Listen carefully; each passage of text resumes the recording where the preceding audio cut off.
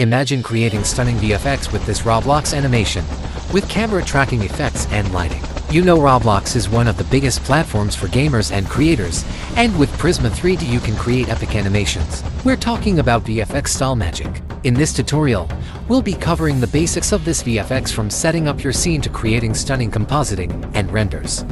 I'll also be diving into some techniques to help you bring your creations to real-life footage. From camera tracking to lighting and compositing, I'll be giving you tips how this was made. So, if you're ready to take your Roblox animation skills to the next level and create cinematic VFX style animations in Prisma 3D and Node Video Editor, this works better. So let's get started to the process.